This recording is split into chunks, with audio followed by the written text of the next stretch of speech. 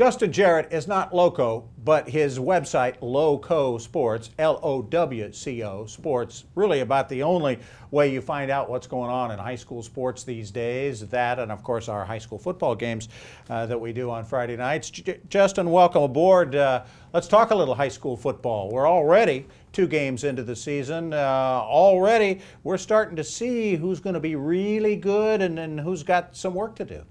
Yeah, it's you know it's a small sample size. You, you never know uh, based on those first couple of weeks, but uh, you start to get a little bit of an idea. You can glean something of it, and you know one of the teams we saw on WHHI last week, May River, looks mm-hmm. really good. They had a huge win over Bluffton, and uh, now they're going to be featured on on WHHI on Friday night again against Whale Branch another undefeated team from north of the Broad. So a couple exciting teams there. And then, uh, you know, here on the island, you, you've got some exciting teams as well. Hilton Head Prep is much improved. They're one and one, uh, lost a 21 to 20 heartbreaker at Colleton Prep this week, so uh, they're looking a lot better. Hilton Head Christians had a brutal early schedule. They're 0 2 right now, but they've got a ton of talent. They can really throw the ball around. And then Hilton Head High off to a great start. They're 2 0. They've dominated their first two games. Uh, had a pitched a shutout on Friday night uh, against St. James, and, and Coach B.J. Payne's got a lot of talent on that roster as well. So, uh, you know, it's exciting time always in the fall, and, and got some good teams here on the island. And we will get Hilton Head High a week from now uh, when they play May River, which could really be a, a battle of unbeatens. Uh, we will see how that shakes out. An awful lot else going on uh, with island athletes. Let's talk a little bit about how Poona Ford's doing uh, with the other Seahawks, the ones in Seattle. Yeah, former Hilton Head Seahawk, now a Seattle Seahawk, and hopefully for a long time. I mean, you weren't sure coming out of the draft. He was undrafted, of course, landed with Seattle. Uh, both he and, and Coach B.J. Payne from Hilton Head High felt like that was a great landing spot for him, a spot where he had a great chance to make the roster.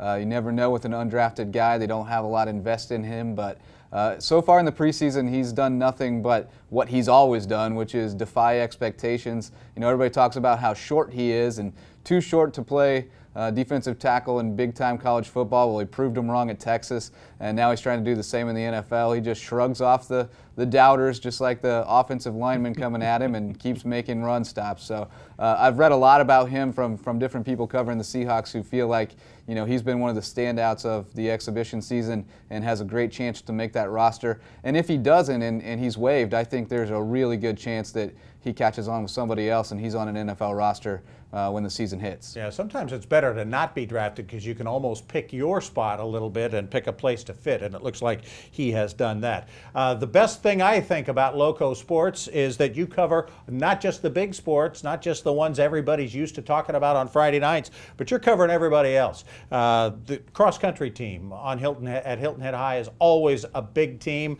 Um, how are they doing? And then we'll talk some volleyball. Yeah, they're a perennial powerhouse, of course, but uh, longtime coach Bill Wrightson has has uh, finally retired after a long run there and, and moved up north. Uh, but they've still got some great runners, and Sam Gilman is one that anybody who follows the local running scene will know. He's the defending state champ in Class 4A, and he started off his senior campaign with a bang. He won the Providence Invitational in Charlotte for the second straight year, ran 15:48 in the 5K, which, uh, if you know much about running, that's pretty impressive uh, to start the season. He's not even in midseason form yet. Uh, Seahawks did pretty well overall. The boys finished eighth, the girls finished seventh, so they're looking for another great season uh, out on the cross country trail. How about volleyball on the island? Yeah, it's always good in this area. I think the Low Country is, is probably one of the strongest areas in the state for volleyball. Hilton Head always has a great team. Uh, they've, they're looking pretty strong so far early on. They went up to Nation Ford for a tournament. Uh, haven't seen all the results in from that yet, but I know they were doing pretty well up there. And Hilton Head Christian Academy has a juggernaut team this year. Uh, Coach Steve DeSimone's got a really good squad. His daughter Sydney hit a 1,000 kills last week for her career. She's a senior and they just went to the Colleton County tournament with 25 teams, public and private schools, and they won the whole thing. They beat Bishop England out of Charleston in the championship game, and they are a Class 3A perennial power. So Hilton Head Christian looking like a serious contender this year. All right. The website is Lowco Sports, L O W C O, sports.com.